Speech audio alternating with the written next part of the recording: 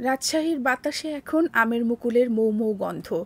মধুমাসের আগমনী বার্তা শোনাচ্ছে আমের মঞ্জুরি, যার পরিচর্যা নিয়ে ব্যস্ত চাষিরা। উৎপাদন লক্ষ্যমাত্রা এবার ছাড়িয়েছে আগের বছরকে। গাছের মুকুল আভাস দিচ্ছে বাম্পার ফলনের।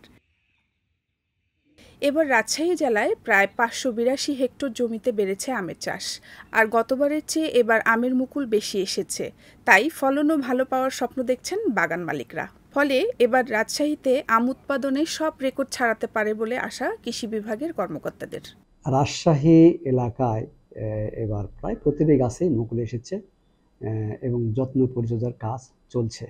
আমি কিন্তু এখন স্প্রে দেওয়ার সময় দুইটি স্প্রের কথা আমরা বলে থাকি। একটি হলো যে মুকুল আসার পর কিন্তু ফোটার আগে একটি স্প্রে, এবং আম যখন মটর দানা আকার ধারণ করবে তখন আরেকটি স্প্রে।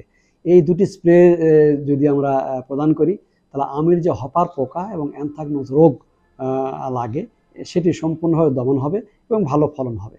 জেলা কৃষি সম্প্রসারণ অধিদপ্তরের সূত্র মতে, চলতি দুই হাজার একুশ বাইশ মৌসুমে রাজশাহী জেলায় আঠারো হাজার পাঁচশো পনেরো হেক্টর জমিতে আমের আবাদ হচ্ছে।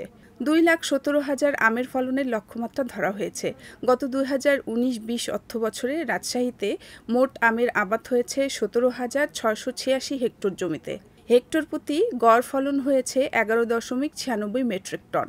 সম্ভাব্য মোট উৎপাদন হয়েছে এক লাখ উনআশি হাজার পাঁচশো চল্লিশ দশমিক তেপ্পান্ন মেট্রিক টন আম, যার বিক্রয় মূল্য ছিল প্রায় একাত্তর কোটি একাশি লাখ বাষট্টি হাজার একশো বিশ টাকা। আমার, আমি আম চাষ করি, আমার নিজস্ব প্রায় চার একর জমি আছে, আম চাষ হয়। এবার আশা করছি মুকুল যেভাবে দেখতে পাচ্ছি যে ভালোই আম উৎপাদন হবে এবং বাজার যদি ভালো পাই তাহলে পরে আমরা দশ লাভ লাভবান হব।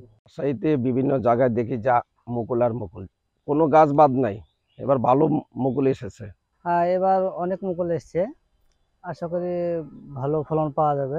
রাজশাহী ফল গবেষণা কেন্দ্রের প্রধান বৈজ্ঞানিক কর্মকর্তা ডক্টর আব্দুল আলিম বলেন চলতি দু হাজার একুশ বাইশ মৌসুমে রাজশাহী জেলায় আঠারো হাজার পাঁচশো পনেরো হেক্টর জমিতে আমের আবাদ হচ্ছে। এবারে কিন্তু আমের আঠারো হাজার পাঁচশো পনেরো হেক্টর জমিতে দুই লাখ সতেরো হাজার আমির ফলনের লক্ষ্যমাত্রা নির্ধারণ করা হয়েছে। আবহাওয়া সম্পূর্ণ অনুকূলে থাকায় এবং যত্ন পরিচর্যার কারণে এই যে লক্ষ্যমাত্রাটি ছাড়িয়ে যাবে এবং বাম্পার ফলন হবে বলে আমি মনে করি।